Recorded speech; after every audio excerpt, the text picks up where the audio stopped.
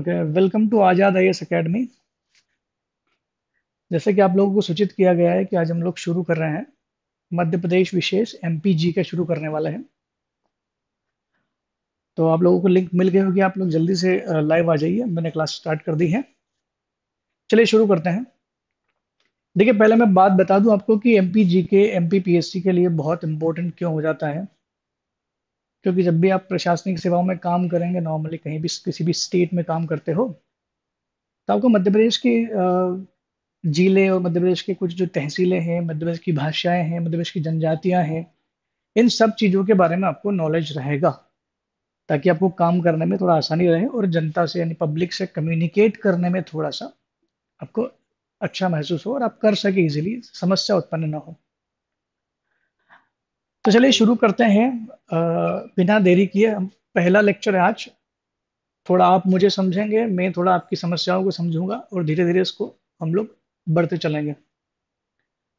वैसे तो एम और एसआई के विगत वर्षों में एमपी जीके से बहुत सारे क्वेश्चन पूछे गए हैं।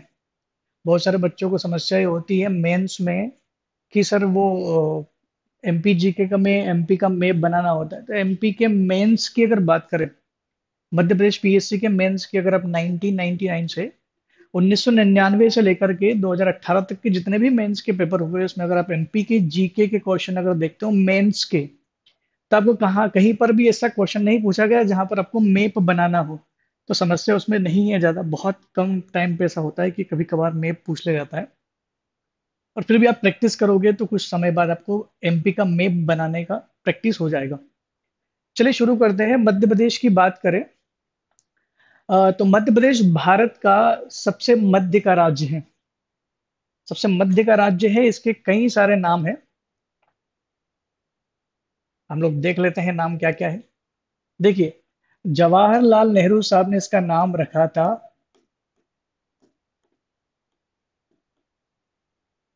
हृदय प्रदेश, क्योंकि चूँकि मध्य प्रदेश मध्य प्रदेश बिल्कुल मध्य में स्थित है इसलिए जवाहरलाल नेहरू को यह बहुत प्यारा राज्य लगा और उन्होंने इसको नाम दिया हृदय प्रदेश। दूसरा इसका नाम है मध्य प्रदेश से कई सारी नदियों का उद्गम है। इसलिए मध्य प्रदेश को एक और नाम दे दिया गया है नदियों का मायका।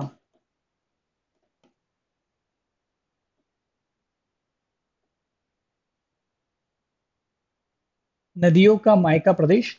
यानी यहाँ से कई सारी नदियों का ओरिजिनेशन है, जिसमें नर्मदा सबसे महत्वपूर्ण नदी है और सबसे ज़्यादा बड़ी नदी जो मध्य प्रदेश की मानी जाती है, नर्मदा ही मानी जाती है। नेक्स्ट पॉइंट की बात करें तो मध्य प्रदेश का एक और नाम जो है, वो इसको बोला जाता है सोया प्रदेश। सोया प्रदेश। क्योंकि आप भी जानते हैं कि पूरे भारत में सबसे ज़्यादा सोयाबीन का अगर कोई राज्य उत्पादन करता है तो सोयाबीन का उत्पादन सबसे ज़्यादा जो करता है, वो मध्य प्रदेश ही करता है। सोयाबीन का जो साइंटिफिक नेम है, हो सकता है साइंटिफिक नेम भी किसी चीज़ों के पूछे जा सकते हैं। ग्लाइसिन मैक्स सोयाबीन का साइंटिफिक नेम हम लोग आगे बात करेंगे सोयाबीन की, ठीक है? एक और चौथा नाम जो है मध्य प्रदेश का, उसकी बात करें तो ये है जनजातियों का राज्य।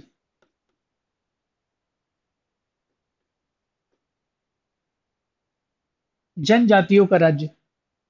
चूँकि मध्य प्रदेश में सबसे ज़्यादा जनजातियाँ हैं, पूरे भारत में अगर जनजातियों की संख्या की बात करें, वैसे तो भारत में अनुसूचित जाति और जनजाति दोनों ही है, लेकिन भारत में अनुसूचित जाति का प्रतिशत ज़्यादा है, जबकि मध्य प्रदेश में अनुसूचित जनजाति का प्रतिशत ज़्यादा है।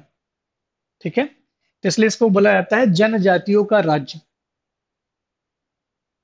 नेक्स्ट नाम की अगर इसकी बात करें तो इसको बोला जाता है आदि मानव की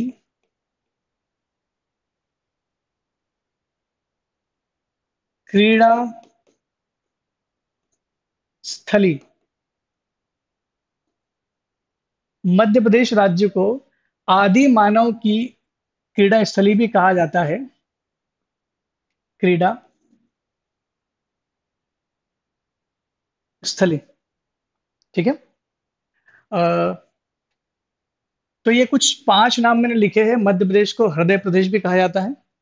मध्य प्रदेश को नदियों का मायका भी कहा जाता है। मध्य प्रदेश को सोया प्रदेश भी कहा जाता है। लाइटिंग आ रही है।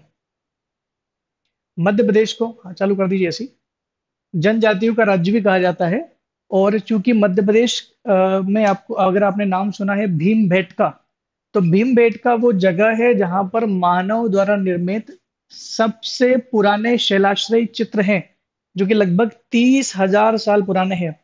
अगर देखा जाए कि भारत का इतिहास ही हम लोग पढ़ते हैं तो वो 2550 बीसी से पढ़ते हैं, जो कि इंडस वैली सिविलाइजेशन, यानी सिंधु घाटी सभ्यता से हम लोग पढ़ते हैं, लेकिन भारत में मानव द्वारा जो कलाकृति या शैलाश्रय जो है, वो बहुत पुराने तीस हज़ार साल पुराने हमारे मध्य प्रदेश के भीम बेटका में पाए जाते हैं।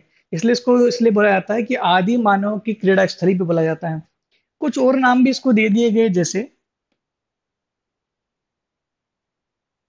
तेंदुपत्ता राज्य। मैं आपको बता दूँ कि तेंदुपत्ता राज्य इसलिए कहते हैं मध्य प्रदेश को, क्योंकि तेंदुपत्ता जो बीड़ी बनाने के काम आता है, हालाँकि वो सही नहीं है, बीड़ी बहुत खराब चीज़ होती है। लेकिन फिर भी तेंदुपत्ता जो होता है, वो बीड़ी बनाने के काम आता है और भारत में सबसे ज़्यादा तेंदुपत्ते का जो उत्पादन होता है, वो मध्य प्रदेश में होता है, इसलिए इसको नाम दे दिया गया तेंदुपत्ता राज्य भी बोलते हैं। अब जो भी बोलते हैं, बोला गया है। दूसरा जो है, एक और नाम कभी कभार ये नाम भी देखने को मिलता है, लघु भारत। लघु भारत।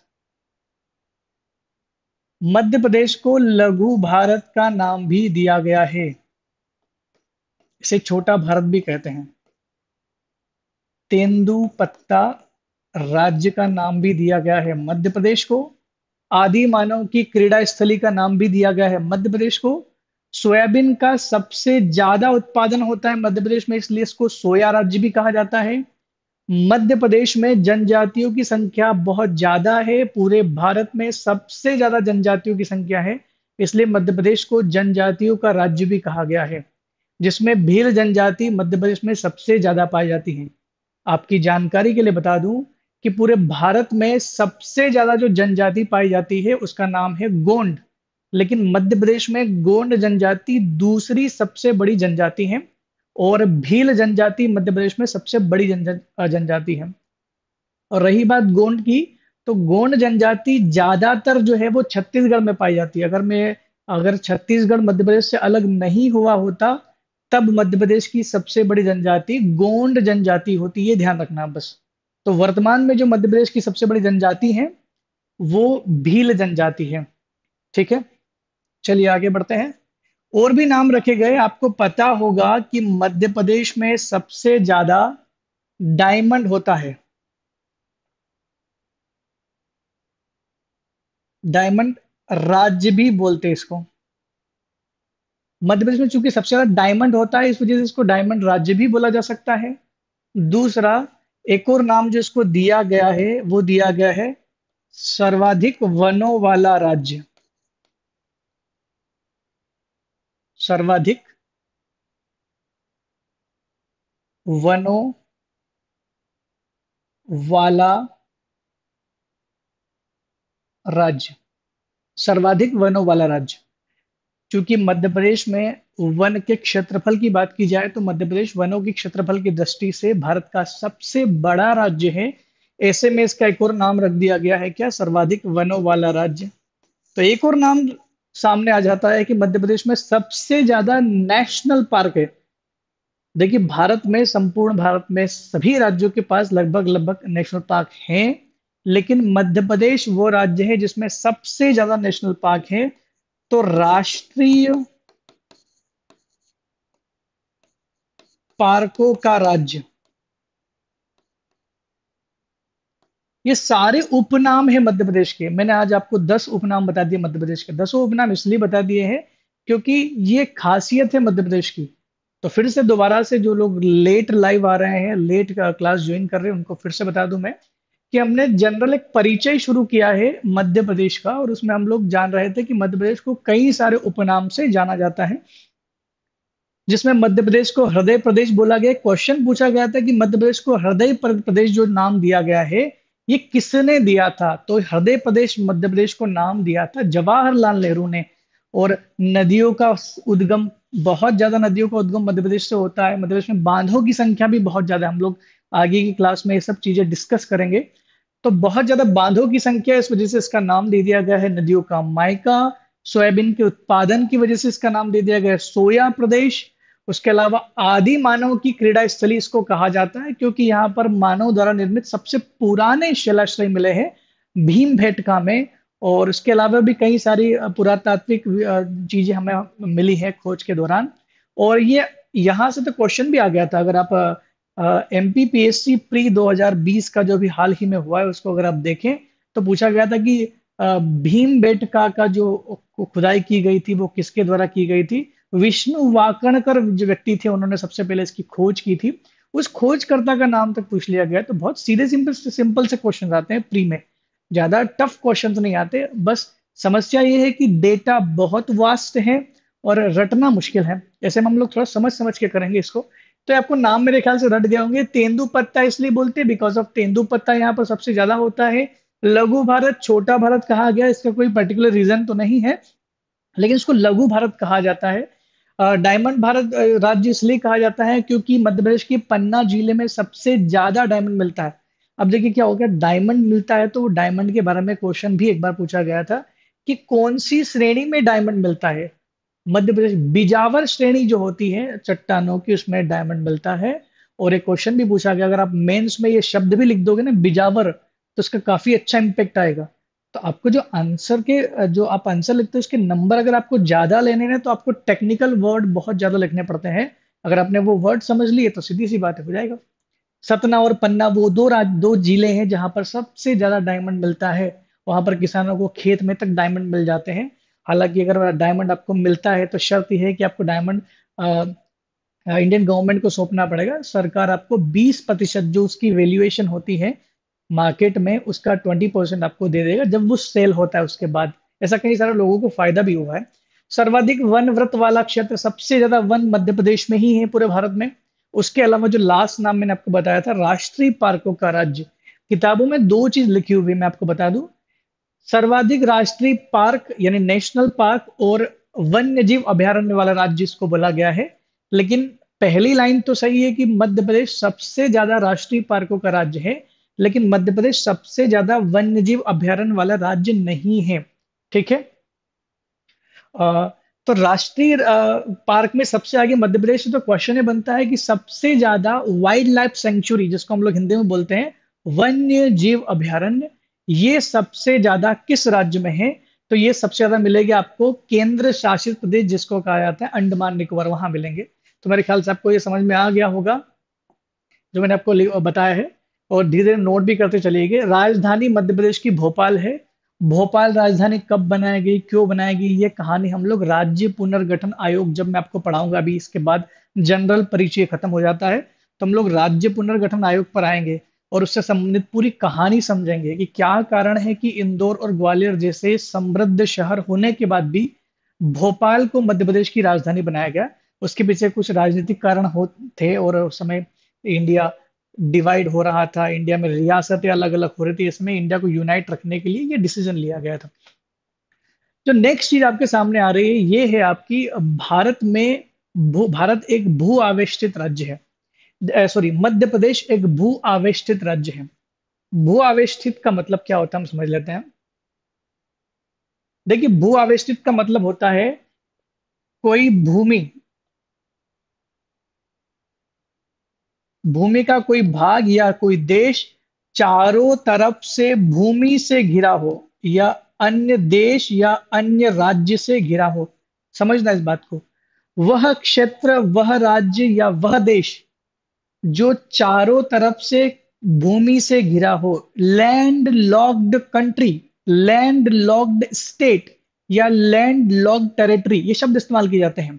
भू आवेष्टित देश भू आवेष्टित राज्य या भू आवेष्टित क्षेत्र उसको कहते हैं। तो मध्य प्रदेश का अगर आप मैप देखते हो तो मध्य प्रदेश किसी भी तरह से समुद्र से सीमा साझा नहीं करता है और न ही मध्य प्रदेश किसी भी दूसरे देश से सीमा साझा करता है। अब यहाँ पर जरा सा कंफ्यूजन मैं आपको खत्म कर देता हूँ वो। देखिए, मैंने कहा भू आवेष्टित राज्य, वह भूमि, वह क्षेत्र जो चारों तरफ़ भूमि से घिरा हो, उसको हम लोग बोलते हैं लैंड लॉक्ड भू आवेष्टित राज्य। लेकिन मैप में आप देख पा रहे होंगे कि टोटल भारत में पाँच भू आवेष्टित राज्य हैं। पाँच भू आवेष्टित राज्य जो है, ये है आपका मध्य प्रदेश, जो येलो कलर में दिखाई दिया गया है। जस्ट उसके साथ में जो मध्य प्रदेश से अलग हुआ है, छत्तीसगढ़। बिहार से अलग होके बना है आपका झारखंड। और सबसे नीचे जो आपको मिलेगा, ये है अभी हाल ही में सबसे लास्ट राज्य जो बना था मध्य प्रदेश का भारत का, वो है तेलंगाना, जो आंध्र प्रदेश से अलग हुआ था। वही आंध्र प्रदेश जो 1953 में तमिलनाडु से अलग हुआ था, उसी आंध्र प्रदेश से दोबारा कौन अलग हो गया? तेलंगाना अलग हो गया। तो ऐसा नहीं कि एक राज्य अगर एक बार टूट जाता है तो दोबारा नहीं टूट सकता। ऐसी कई संभावनाएँ हैं जिससे राज्य के कई बार टुकड़े हो सकते हैं। राज्य के टुकड़े होना देश की एकता और अखंडता पर प्रभा प्रहार नहीं है, इससे ध्यान रखना। राज्य के टुकड़े होना नहीं, राज्य का पुनर्गठन नाम दे दिया गया उसको। कई सारे लोग राज्य के टुकड़े हो रहे हैं तो देश टूट रहा है, देश नहीं टूटता उससे। प्रशासनिक सुविधा, विकास और भाषाई समस्याओं से संबंधित है ये।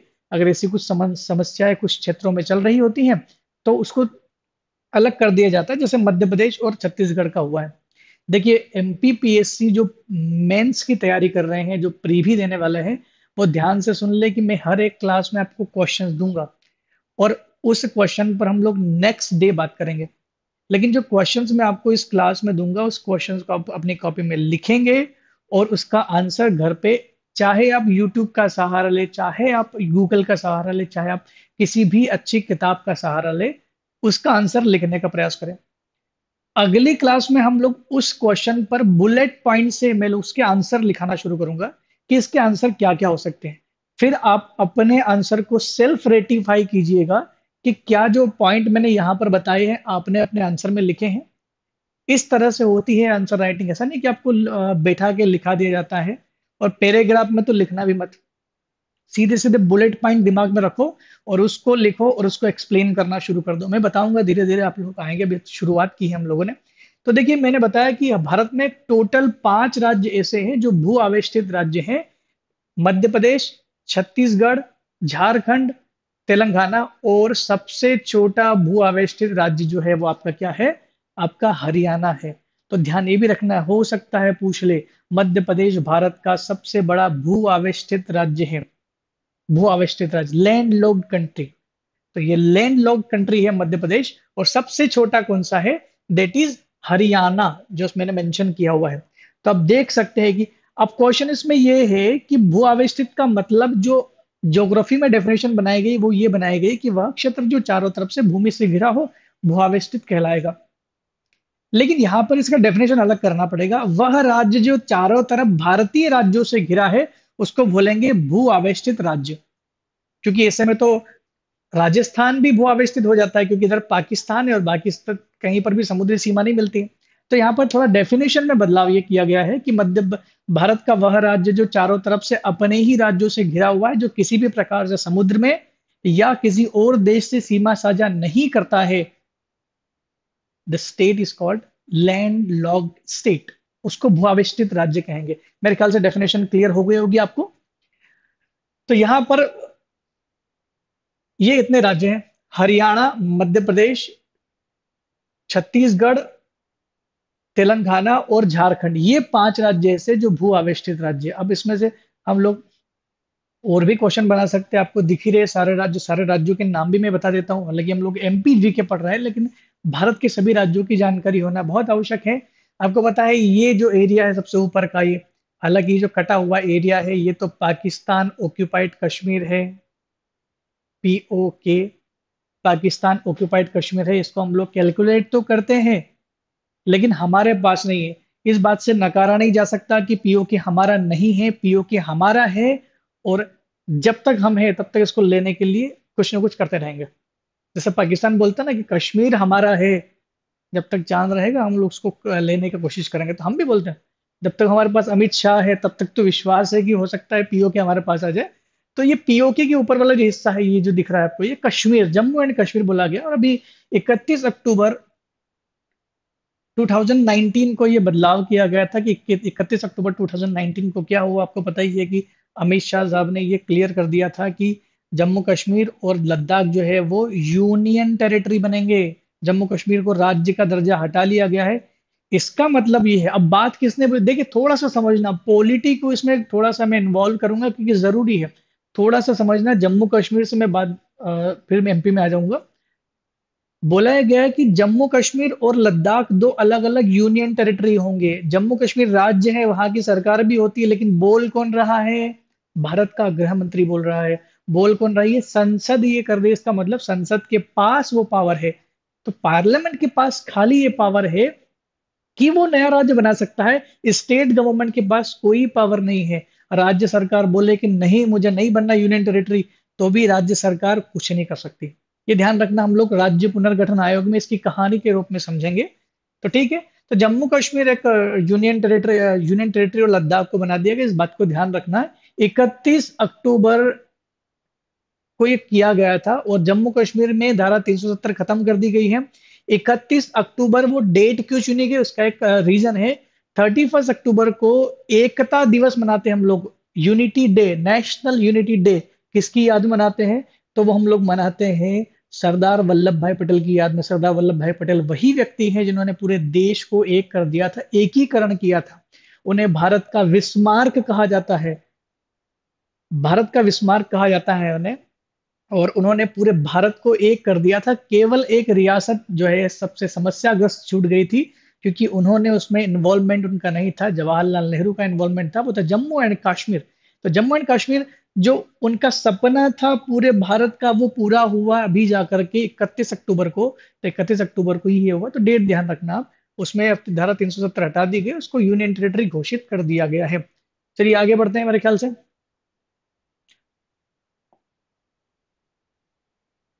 मध्य प्रदेश का परिचय ये हम लोग कर चुके हैं। मैंने काफ़ी सारे नाम दे दिए हैं आपको। उसमें से एक नाम मिसिंग था जो यहाँ पर लिखा हुआ है टाइगर स्टेट देखिए टाइगर स्टेट हर चार साल में टाइगर की सेंसस होती है, ध्यान रखना। पहली बार टाइगर की सेंसस सन 2006 में हुई थी। हमारे पास लगभग 1000 के आसपास ही टाइगर थे, लेकिन जब 2006 के बाद 2010 में हुए तो कुछ 1700 टाइगर हुए 2014 में जब हुए तो थोड़ा हमारे पास टाइगर बढ़ गए थे। 2019 में जो लास्ट जो हमारी होती है सॉरी 2018 की जो लास्ट सेंसस हुई, चौथे नंबर की सेंसस उसमें हमको काफ़ी ज़्यादा संख्या मिली है और लगभग 526 टाइगर तो खाली मध्य प्रदेश में है और उनतीस सौ सड़सठ टू नाइन सिक्स सेवन दो हज़ार नौ सौ सड़सठ टोटल टाइगर भारत वर्ष में है और जिसमें सबसे ज़्यादा हमारे मध्य प्रदेश में है। इसलिए मध्य प्रदेश को क्या नाम दे दिया गया? टाइगर स्टेट भी नाम दे दिया गया। हृदय प्रदेश तो दिए गए, जवाहरलाल नेहरू ने नाम रखा गया था। ठीक है? दूसरा है, मध्य प्रदेश का स्थापना दिवस। हम हर साल ये दिवस मनाते हैं। थोड़ा सा गलत हो गया, यहाँ पर दिशा हो गया है। दैट इज़ दिवस।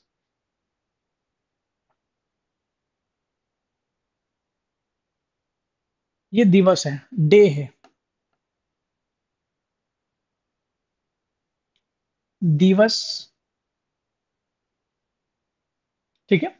तो एक नवंबर 1956 को मध्य प्रदेश का दिवस दिवस मनाते हैं। एक नवंबर डेट आपके लिए बहुत इंपॉर्टेंट होने वाला है, क्योंकि एक नवंबर वही डेट है जिस दिन छत्तीसगढ़ मध्य प्रदेश से अलग हुआ था।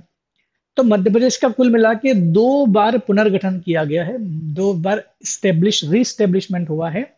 तो ये दोनों बार एक ही डेट पर हुआ था, एक नवंबर को। हालाँकि एक नवंबर के पीछे कोई खासा रहस्य नहीं है, फिर भी एक नवंबर एक अच्छा डेट है जिसको आपको ध्यान रखना पड़ेगा। मध्य प्रदेश का जो टोटल एरिया है वो आपके सामने है, तीन लाख आठ हज़ार दो सौ बावन वर्ग किलोमीटर। लेकिन ये एरिया बहुत, कई बार ऐसा होता है कि नहीं पूछा जाता है। मध्य प्रदेश का मैप आप लोग देख रहे होंगे। मध्य प्रदेश के मैप में जो टॉपिक दिया गया है, मध्य प्रदेश का विस्तार, भौगोलिक विस्तार। हालाँकि इस विस्तार को हम लोग मध्य प्रदेश के भूगोल वाले टॉपिक में पूरी तरह से पढ़ेंगे, समझेंगे। लेकिन फिर भी मैं आपको बता दूँ कि मध्य प्रदेश कहाँ से कहाँ कितना फैला हुआ है। तो मध्य प्रदेश का जो भूगोल पर, जब भी हम लोग को पढ़ना है कि मध्य प्रदेश का भूगोल क्या है, मध्य प्रदेश कितना फैला हुआ है कोई भी राज्य कोई भी स्टेट है तो हम लोग दो रेखाएँ जो होती हैं, भूगोल में इनको बोलते हैं अक्षांश रेखाएँ और देशांतर रेखाएँ। मैं समझा देता हूँ what is the difference between अक्षांश एंड देशांतर रेखाएँ। फॉर एग्ज़ाम्पल ये हमारा ग्लोब है। तो ये रेखाएँ जो मानचित्र पर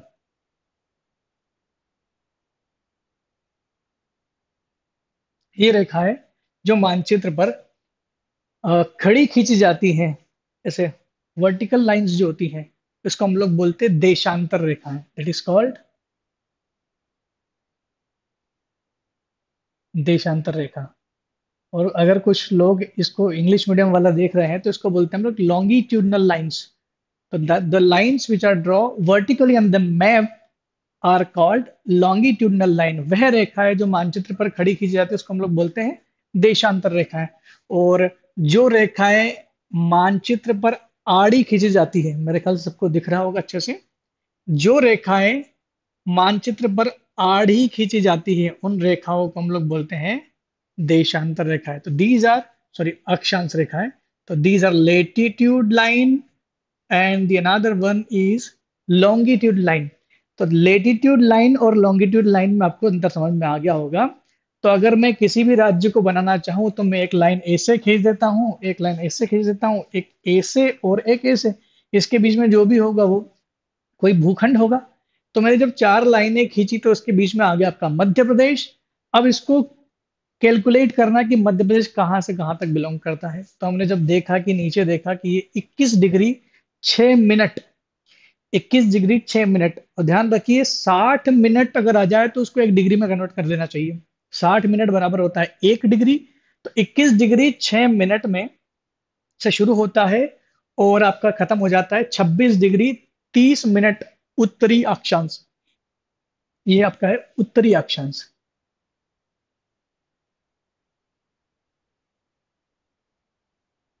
उत्तरी अक्षांश। और ये भी आपका क्या है? 21 डिग्री 6 अंश उत्तरी अक्षांश।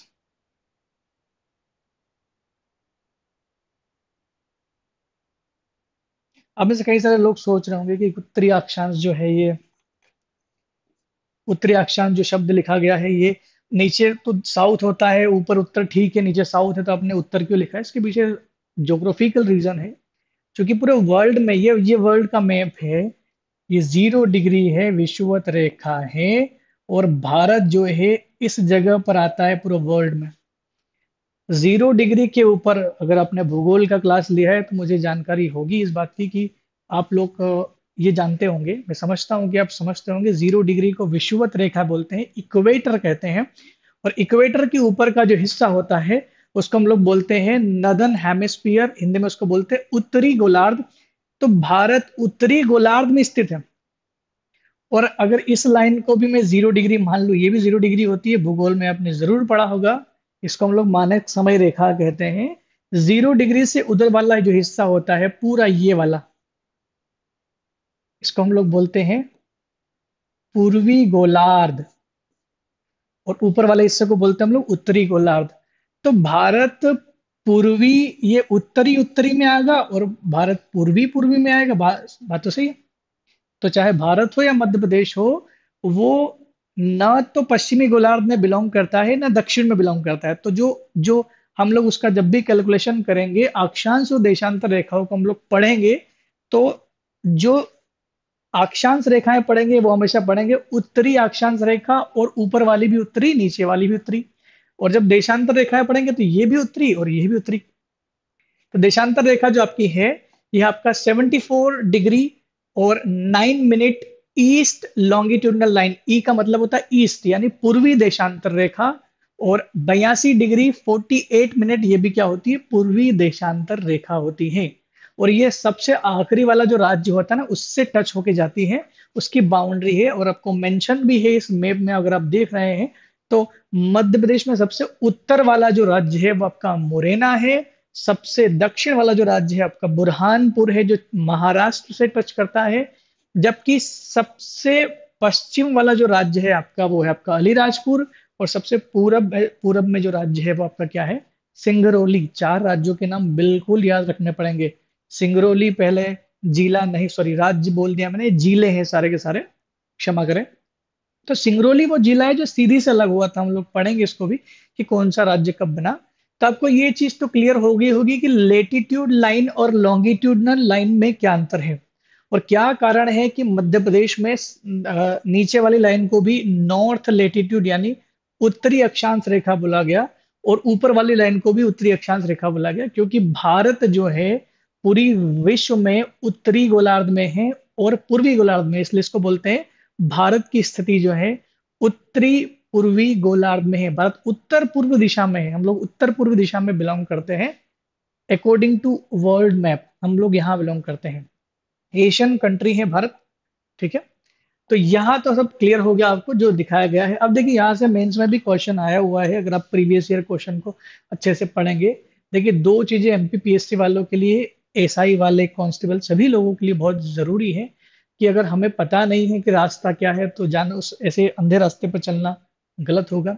तो अगर आपको जानना है कि एमपीपीएससी या एमपीएसआई या एमपी कांस्टेबल या अन्य सभी एग्ज़ाम की तैयारी करना है तो दो चीज़ें सबसे महत्वपूर्ण होती है। पहला, सिलेबस। सिलेबस देखने से ये पता चल जाता है कि हमारी गहराई कितनी हमें कितना आता है और हमें कितना पढ़ना ये दो चीज़ें करनी होती हैं। और दूसरा होता है कि अगर आपका अपने प्रीवियस प्रीवियस ईयर के क्वेश्चन को पढ़ा है तो ज़ाहिर सी बात है कि आपको पता होना चाहिए कि मध्य प्रदेश जो है अपनी परीक्षाओं के माध्यम से किस तरह का आपसे नॉलेज लेना चाहता है तो बहुत ज़रूरी है कि आप प्रीवियस ईयर के क्वेश्चन पेपर ज़रूर टैली कर ले। ये बहुत इंपॉर्टेंट क्वेश्चन है, यहाँ से कई बार क्वेश्चन ये रटने वाला रहता है। कई सारे क्वेश्चन कई बार क्वेश्चन पूछा गया है। ट्रॉपिक ऑफ़ कैंसर जो कि अभी हाल ही में मैंने आपको बताया है। ट्रॉपिक ऑफ़ कैंसर क्या होता है, जरा पहले उसको समझ लेते हैं। फिर हम लोग बात करेंगे इस मुद्दे पर। ट्रॉपिक ऑफ़ कैंसर क्या होता है? ट्रॉपिक ऑफ़ कैंसर को हिंदी में बोलते हैं कर्क रेखा। और ट्रॉपिक ऑफ़ कैप्रिकन क्या होता है? विश्व मकर रेखा क्या होता है? इक्वेटर क्या होता है? विश्वत रेखा क्या होता है? एक बेसिक ज्योग्राफी का पार्ट है जो मैं यहाँ पर टच करने वाला हूँ। ये आपका वर्ल्ड ये आपका मैप है। तो इसको समझ लेते हैं।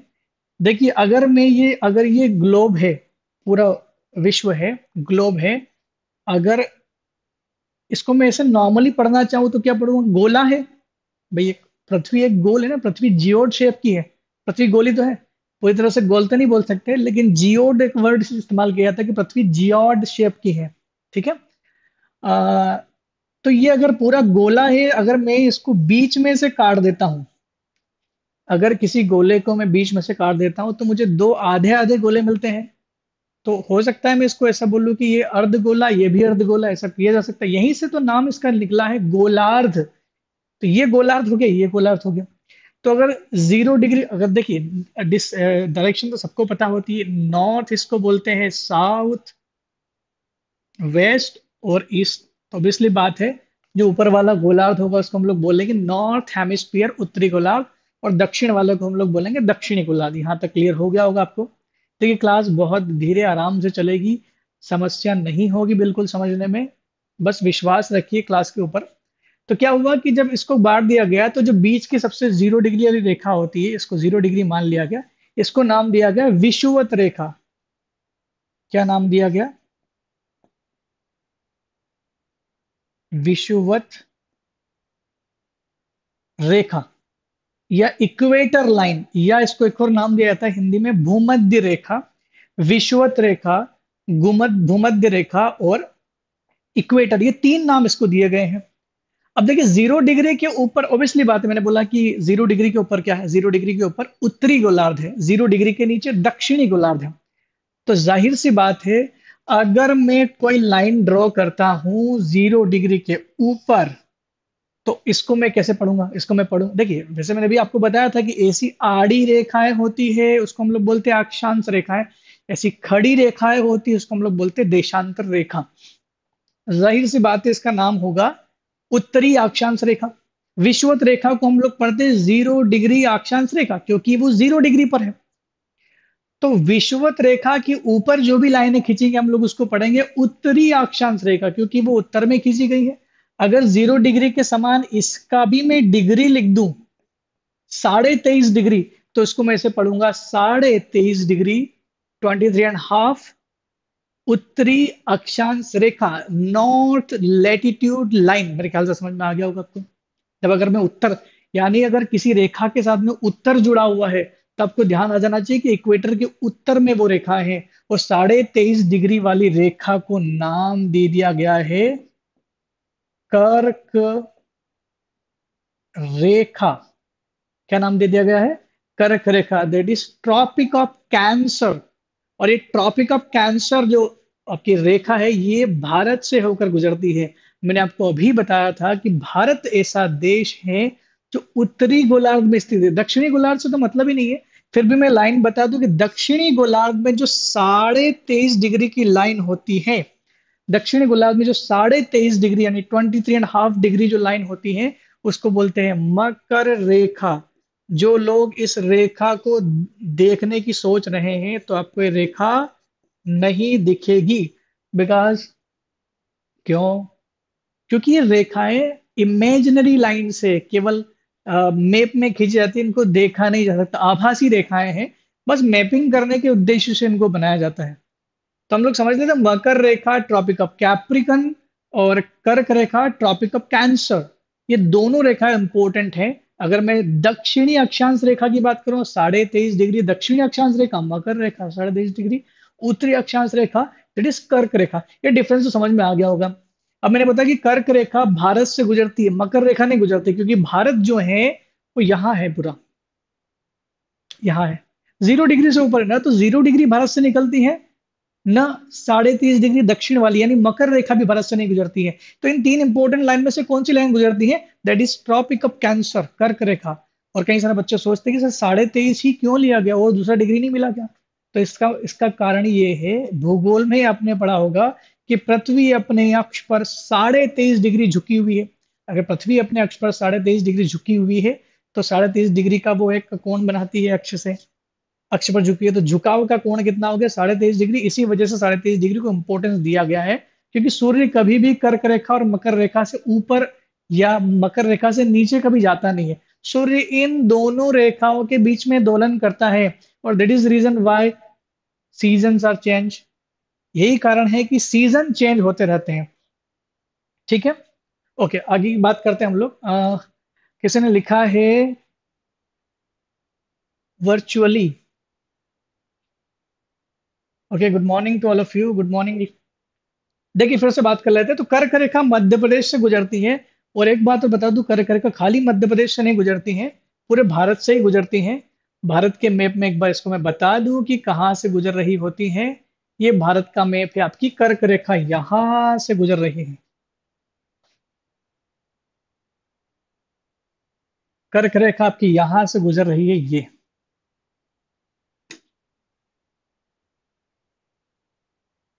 गुजरात, राजस्थान, मध्य प्रदेश, छत्तीसगढ़, झारखंड, त्रिपुरा और मिजोरम इन राज्यों से गुजर रही है। टोटल आठ राज्य मध्य प्रदेश के जहाँ से गुजरती है। ये गुजरात आपका है, ये राजस्थान आपका है, ये मध्य प्रदेश, हमारा प्यारा मध्य प्रदेश। सबसे, अगर आप मध्य प्रदेश के निवासी है तो आपको मध्य प्रदेश का मैप सबसे अच्छा लगेगा और भारत का मैप सबसे अच्छा लगता है। बाकी दूसरी दुनिया के मैप से हमें कोई मतलब नहीं है। बहुत अजीब गरीब लगते हैं। हमें, हमारा घर सबसे अच्छा लगना चाहिए झारखंड। और ये है वेस्ट बंगाल। ये आपका हो गया त्रिपुरा। और ये आपका हो गया मिजोरम। मिजो, मिजोरम, त्रिपुरा, मिजोरम। देखिए, ये वाले राज्यों को हमको भूलना नहीं चाहिए। सबसे इंपॉर्टेंट राज्य होते हैं क्योंकि कई बार करंट अफेयर से रिलेटेड क्वेश्चन पूछे जाते हैं। मैं आपको बता दूँ ओलंपिक में जो सबसे पहला मेडल इस साल लेकर के आई थी 2020 टोक्यो ओलंपिक में मीरा बेन चानू जो थी, मीराबाई चानू जो थी, वो लेकर के आई थी।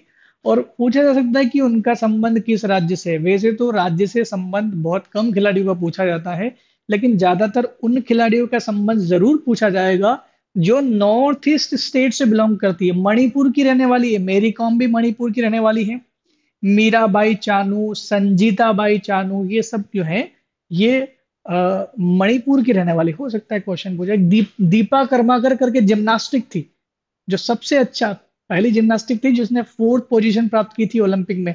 री ओलंपिक में काफ़ी अच्छा नाम था उनका दीपा कर्माकर जो त्रिपुरा की थी। हो सकता है क्वेश्चन आ जाए। हमको जानना है कि भारत के आठ राज्य हैं जहाँ से कर्क रेखा गुजरती है। क्वेश्चन इस तरह से आ सकते हैं कि पूर्व से पश्चिम या पश्चिम से पूर्व का ऑर्डर जमाइए ऐसा नहीं कि याद रख ले कि भाई हाँ मध्य प्रदेश भी है, राजस्थान भी है, छत्तीसगढ़ भी है, गुजरात भी है, झारखंड है, वेस्ट बंगाल है, त्रिपुरा, मणिपुर है। आठ ही तो राज्य याद रख याद रखने हैं।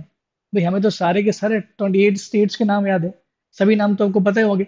लेकिन फिर भी इसमें इंपॉर्टेंट क्या है? पूछ लिया कि बताइए कि राज्यों को क्रोनोलॉजिकल ऑर्डर में जमाइए, सही क्रम में जमाइए कि राज्य पश्चिम से पूर्व की ओर जाते हैं तो कौन कौन से राज्य जाते हैं जो कर्क रेखा पर स्थित है? सबसे पहले नाम आएगा आपका वो गुजरात, राजस्थान, मध्य प्रदेश, छत्तीसगढ़, झारखंड, वेस्ट बंगाल, त्रिपुरा, मिजोरम। उल्टा पूछेगा पूर्व से पश्चिम तो उधर से इधर कर देना, ये आपके हाथ में है तो ये आठ राज्य है। उसमें से दो राज्य ऐसे हैं जिनकी राजधानी से भी पासिस थ्रू होती है। ये क्वेश्चन भी पूछा गया है कि भारत की, भारत के वो कौन से राज्य है जिनकी राजधानी से कर्क रेखा गुजरती है? तो दो राज्य आते हैं। The first one is Madhya Pradesh की भोपाल से निकलती है and the second one is Ranchi of Jharkhand. Jharkhand की राजधानी रांची जो है, वहाँ से भी आपकी ट्रॉपिक ऑफ़ कैंसर निकलती है। फिर से मुद्दे पर आ जाते हैं हम लोग, जल्दी से। ये आ गया आपका कर्क रेखा। तो मध्य प्रदेश के टोटल चौदह जिलों से निकलती है। चौदह ज़िले मध्य प्रदेश के कुछ इस प्रकार है, जो आपके यहाँ पर कलर्ड फॉर्म में दिए गए हैं, और ऊपर नाम भी लिखे गए अगर आप आपको इसमें नाम नहीं दिख रहे तो नाम ऊपर दिखे। यहाँ पर ऐसा क्रोनोलॉजी नहीं पूछा जाता है कि इधर से उधर की उधर से इधर। फिर भी बच्चे इसको रट लेते हैं कि इधर से चलने पर कौन आता है, इधर से चलने पर कौन आता है। कर्क रेखा से से जो है मध्य प्रदेश के चौदह जिलों से पासिस थ्रू होती है, जिसमें सबसे पश्चिम का जिला जो है वो है रतलाम। उसके बाद आपका उज्जैन आता है। देखिए मैप में थोड़ा सा यहाँ पर कंफ्यूजन रहता है। अगर आपको मैप क्लियरली दिख रहा है तो ये जो आगर मालवा जो जिला है उसके नीचे आता है शाहजहापुर मैप में जो लाइन खींची गई है ना जो आपके मैपों में जो लाइन खींची गई उसमें शाहजहापुर को बताया गया है कि उससे गुजर रहा है लेकिन फिर भी आंसर में लिखा गया आगर मालवा से गुजरती है। तो ये आ, सही इसका आंसर आगर मालवा ही है। शाहजहापुर से नहीं गुजरती है। 2013 में 16 अगस्त 2013 में आगर मालवा शाहजहापुर से अलग होकर के नया जिला बना था। एक और बात मैं आपको क्लियर कर दूँ कि ज़िले नए बनाने का राइट्स जिला पुनर्गठन आयोग के पास में है, जो कि राज्य सरकार बनाती है। नए राज्य बनाने का जो अधिकार है, वो संसद के पास में only parliament has power to create form new state और ये आर्टिकल नंबर तीन में लिखा संविधान में। कॉन्स्टिट्यूशन जो है वो प्रोवाइड करता है ये पावर टू द पार्लियामेंट तो पार्लियामेंट को पावर देता है कि नए राज्यों का निर्माण किया जा सकता है। हम लोग पढ़ेंगे इसको भी आगे। रतलाम उज्जैन आगर मालवा, ये तीनों मालवा वाले एरिया है। इवन राजगढ़ भी मालवा एरिया है। राजगढ़, सीहोर, भोपाल तो सब जानते ही हैं। विदिशा, रायसेन, सागर, दमोह, कटनी, जबलपुर, उमरिया और शहडोल। जो भी लोग पढ़ रहे हैं, अगर आप नोट्स बना रहे हो तो बहुत अच्छी बात है। मैं एक बार कमेंट पढ़ लेता हूँ। मैंने अभी पेमेंट कर दिया अरे, इस तरह के कमेंट आप ना लिखें। पेमेंट की बात आप पेमेंट अलग से कर लें। मुझे लगा कोई समस्या आप बता रहे हैं। ठीक है, बात करते हैं इसमें। दोबारा आ जाते हैं। ये कुछ राज्य हैं जो आपके चौदह राज्य है जो मध्य प्रदेश से होकर जाते हैं। चौदह ज़िले हैं जो मध्य प्रदेश में है, जिससे होकर ट्रॉपिक ऑफ़ कैंसर जाती है। ट्रॉपिक ऑफ़ कैंसर मैंने बता दिया, कर्क रेखा मैंने बता दिया, साढ़े तेईस डिग्री उत्तरी अक्षांश रेखा, जो भारत के आठ राज्य और मध्य प्रदेश के चौदह जिलों से गुजरती है। चौदह ज़िले इस प्रकार जो आपके ऊपर लिखे गए हैं, याद रखने के लिए थोड़ा सा रखना पड़ेगा। देखिए, मध्य प्रदेश में ऐसा नहीं है कि सब चीज़ें दिमाग में ऐसे घुस जाएँगी। थोड़ा सा मध्य प्रदेश के मैप को बार बार देखो। जिस चीज़ को हम लोग बार बार देखते हैं, वो रटना आसान हो जाता है। आप मैप को दिमाग में थोड़ा सा बैठाइएगा। इस कलर से बैठाइएगा कि शहडोल है, उमरिया है, कटनी, जबलपुर, दमोह है। ठीक है? सागर, विदिशा, रायसेन, भोपाल, सिहोर। फिर आपका राजगढ़ आगर मालवा उज्जैन, रतलाम। आगर मालवा उज्जैन तथा राजगढ़। जो लोग मध्य प्रदेश से बिलोंग करते हैं और मध्य प्रदेश की एग्ज़ाम दे रहे हैं, उनके लिए रटना आसान हो जाता है क्योंकि ये आपकी मातृभूमि है और यहाँ से आपको जानना हो, ये सब अच्छी लगती है। अपने नाम सुनने पर हम लोग जल्दी याद हो जाते हैं। अभी मैं आपको दस भारतीय लोगों के नाम दू अभी जस्ट बोलूँ कि दस नाम ले ले दूँ। अभी बोलूँ कमेंट में लिख के बताएँ, मैंने दस नाम किस किस लोगों के लिए तो आप तुरंत उसमें से कुछ लोग ऐसे होंगे दस नाम पूरे लिख देंगे। क्योंकि आपको अपने वाले जो फैमिलियर नेम होते हैं, वो जल्दी याद याद हो जाते हैं। अभी मैं किसी यूके वाले, आप किसी फॉरेनर के नाम ले दूँ दस नाम तो मुश्किल से दो या चार नाम आप लिख पाओगे या याद रख पाओगे। तो रीजन क्या है? जो नाम हमारे फैमिलियर होते हैं, उनको याद करना इजी होता है। आप समझते हैं इस बात को?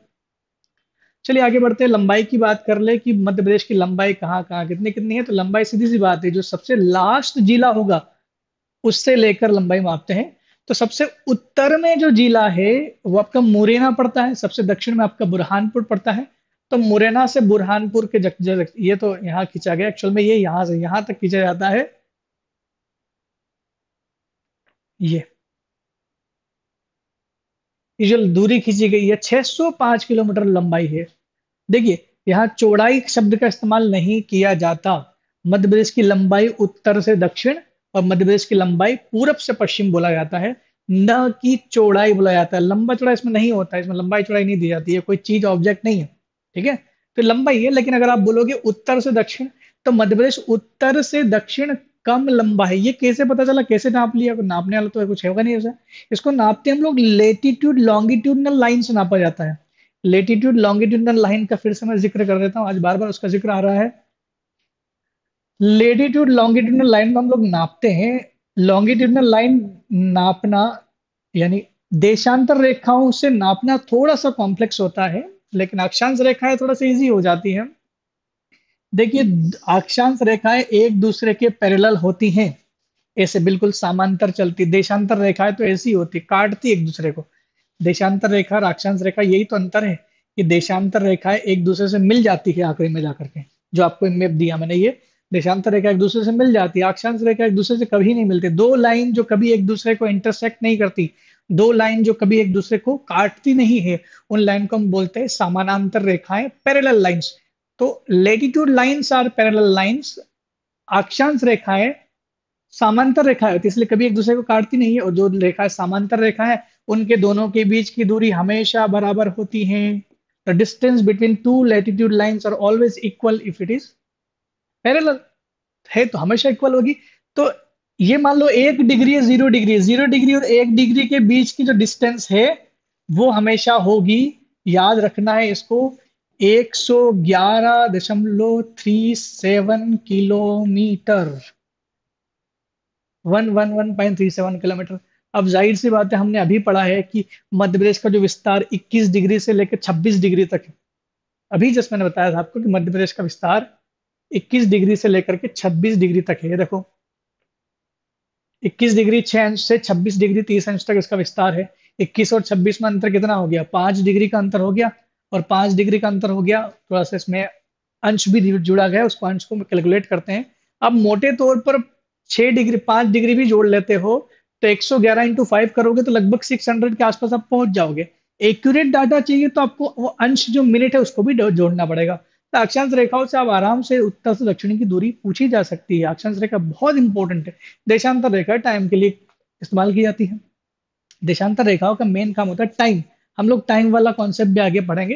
फ़िलहाल ये है, मध्य प्रदेश का पश्चिम से पूर्व के बीच की दूरी, यानी सबसे उधर वाला राज्य है अली राजपुर और सबसे इधर वाला जो राज्य है आपका सिंगरौली। अली राजपुर और सिंगरौली के बीच में जो डिस्टेंस है वो आपका पड़ेगा 870 किलोमीटर। और 870 किलोमीटर जो पड़ता है, अगर इस डिस्टेंस से हम लोग कैलकुलेट करना शुरू करें मतलब यहाँ से यहाँ का कैलकुलेट करना शुरू करें तो मध्य प्रदेश के इधर वाले से इधर वाले के बीच में लगभग चौंतीस मिनट का डिफरेंस आता है। आधे घंटे का अंतर आता है टाइम में। हम लोग एक क्लास में, अभी जब मैं भूगोल शुरू करूँगा मध्य प्रदेश का, उसमें मैं डेफिनेटली ये बात बताऊँगा कि हम लोग टाइम कैलकुलेट कैसे करते हैं। मैं अक्षांश देशांतर रेखाओं पे बार बार बात करूँगा, इसलिए क्योंकि आपका कॉन्सेप्ट यहाँ पर क्लियर होना चाहिए। ठीक है? बाकी किसी को सुनने में, समझने में कोई तकलीफ़ हो तो बिल्कुल बहुत बोल दीजिए। मैं आपके कमेंट लगातार पढ़ रहा हूँ। सर कंटेंट कहाँ मिलेगा? मे भी सर स्लाइड से नहीं पढ़ाइए पढ़ाइए बोर्ड पर पढ़ाइएगा। ठीक है, आपकी बात को बिल्कुल हम लोग ध्यान रखेंगे। एमपी ठीक है। हम्म नेक्स्ट देखिए, आपके जो कमेंट है, इस पर हम लोग बात करेंगे लास्ट में। सबसे अंतिम में, जो पंद्रह मिनट में दूँगा, आपसे चर्चा करूँगा कि क्या समस्या है, हम लोग उस पर बात करेंगे। पहले हम लोग उसको क्लियर कर लें। मध्य प्रदेश की बात करें तो मध्य प्रदेश का अगर हम लोग जनरल परिचय पढ़े तो जनरल परिचय में आता है कुछ चीज़ें जो टेरिटरीज होती है, उसको समझना होता है। उसमें संभाग होते हैं, ज़िले होते हैं, तहसील होती है विकास खंड होते हैं और ग्राम होते हैं। कुछ टोटल पाँच छह इकाइयाँ होती है। तो पाँच इकाई आपके सामने है। नंबर सबसे बड़ी इकाई संभाग होती है। संभाग कई सारे जिलों का एक बड़ा सा डिवीज़न होता है, जिसको हम लोग बोलते हैं संभाग, जिसमें दो ज़िले, तीन ज़िले, चार, पाँच, नौ ज़िले तक मध्य प्रदेश में देखे गए हैं। इंदौर और जबलपुर संभाग सबसे बड़े बड़े संभाग है। आठ, नौ ज़िले उनके पास में है। उसके बाद आपको ज़िले की बात करें तो टोटल ज़िले बावन हो चुके हैं और हाल ही में जो 2018 में नया जिला बना है, निवाड़ी जिला, टीकमगढ़ से अलग करके निवाड़ी ज़िले को नया जिला घोषित किया गया है। और मैप में आपको बता दूँ, निवाड़ी जिला कहाँ पड़ता है? ये निवाड़ी जिला आपका पड़ेगा, ये टीकमगढ़ ये वाला जो है ये पूरा टीकमगढ़ है, ये मैप पुराना है और ये वाला जो हिस्सा है, आपका निवाड़ी जिला है, जो बिल्कुल ललितपुर वाला जो एरिया है, यूपी से टच करता है, निवाड़ी जिला नया जिला बना हुआ है। तो बावनवा जिला वो है तो अगर आप लोगों ने करंट अफेयर का न्यूज़ पढ़ रहे होंगे तो हालाँकि कोविड चल रहा है, इस वजह से थोड़ा सा उस बात पर चर्चा नहीं हुई होगी, सरकार इस बात पर चर्चा कर रही है। एक और नए ज़िले का प्रस्ताव आगे आ चुका है, प्रस्तावित है नागदा। नागदा रेलवे स्टेशन तो काफ़ी फ़ेमस है, वैसे भी बहुत बड़ा एक जंक्शन है मध्य प्रदेश में, बहुत काफ़ी फ़ेमस है।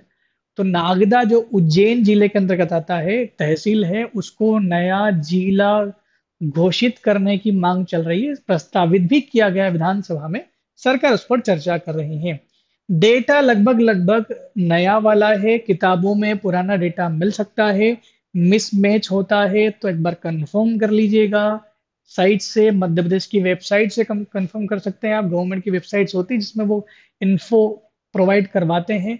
लेकिन फिर भी जो नए वाले डेटा है, वो दे दिए गए दस संभाग हैं पावन ज़िले हैं, तहसीलों की संख्या आपकी किताबों में कम दी गई होगी 313 या ऐसी कुछ दी गई है, लेकिन कई सारी तहसीलें बढ़ चुकी हैं चार सौ चौबीस तहसील हो चुकी हैं 313 विकास खंड हो चुके हैं, जबकि गाँवों की संख्या चौवन हज़ार नौ सौ तीन गाँव है।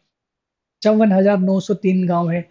हालाँकि किताबों में यहाँ पर भी कम जनसंख्या दी गई, संख्या दी गई थी। गाँवों की संख्या चौवन हज़ार नौ सौ तीन गाँव है। अगर आपको किताब में एक वर्ड मिलता है, आबाद गाँव तो आबाद गाँव अलग होते हैं और नॉर्मल गाँव अलग होते हैं। आबाद गाँव वो गाँव होते हैं जहाँ पर सड़क की सुविधा हो, जहाँ पर 10 प्रतिशत ग्रामीण क्षेत्र विद्युतीकृत हो चुका हो इलेक्ट्रिफिकेशन हो चुका हो। जिस गाँव में विद्युतीकरण हो चुका है, वो गाँव आबाद गाँव कहलाएगा।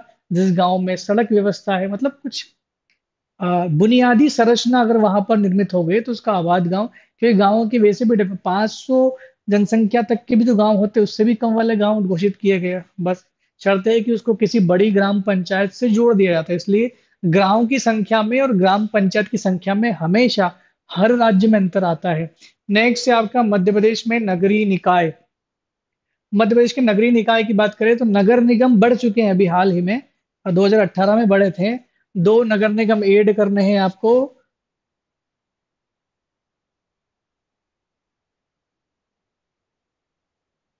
प्लस टू करना है और दो नगर निगम बढ़ चुके हैं तो टोटल नगर निगमों की संख्या भी एटीन हो चुकी है। तो वो दो कौन कौन से, वो भी मैं लिख देता हूँ। भिंड और दतिया। देखिए, भिंड और दतिया वो दो नगर पालिकाएँ थी जिनको 2018 में नगर निगम घोषित कर दिया गया है। तो पहले नगर पालिकाओं की संख्या 100 हुआ करती थी, दो माइनस करेंगे 98 हो गया, ये सही डाटा है और यहाँ पर आपका 18 राइट आंसर आएगा। लिखने की कोशिश कीजिएगा, बिल्कुल सही राइट डेटा है। जिला पंचायत बावन है, आखिरी जिला पंचायत जो बनाई गई वो निवाड़ी जिला पंचायत है। देखिए, निवाड़ी से क्वेश्चन आता है कि निवाड़ी जो जिला बनाया गया था इस ज़िले में कुल कितनी तहसीलें हैं? निवाड़ी में तीन तहसीलें, एक तो खुद निवाड़ी है, एक पृथ्वीपुर है और तीसरा ओरछा है। तो ओरछा, निवाड़ी और पृथ्वीपुर तीन तहसीलों को मिला करके एक नया जिला बनाया गया था निवाड़ी। नगर पालिका नगर पंचायत दो सौ चौरानवे है हमारे मध्य प्रदेश में। जनपद पंचायत तीन सौ तेरह है। सॉरी हाँ जनपद पंचायत तीन सौ तेरह है।